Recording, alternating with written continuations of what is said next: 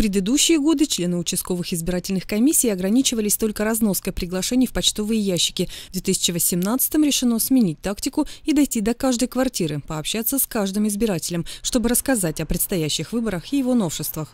Цель обхода – проинформировать избирателей о месте, дате и времени голосования на выборах президента Российской Федерации – также пояснить порядок подачи заявления о включении в список избирателей по месту нахождения, вручить приглашение на выборы и уточнить сведения об избирателях. Новую форму информирования избирателей не все воспринимают однозначно. Судя по отзывам в социальных сетях, горожане опасаются, что параллельно свои поквартирные обходы начнут мошенники, где гарантия, что в дверь позвонит именно член участковой избирательной комиссии. Поквартирный обход будет проведен силами членов участковых избирательных комиссий с правом решающего голоса.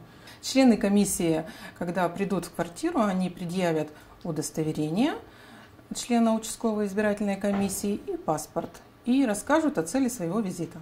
Поквартирный обход поможет выявить избирателей, которые нуждаются в помощи. Например, те, кто по состоянию здоровья не сможет в день выборов прибыть в помещение для голосования. Будет составлен реестр таких граждан, чтобы 18 марта по их желанию к ним могли выехать члены избиркома.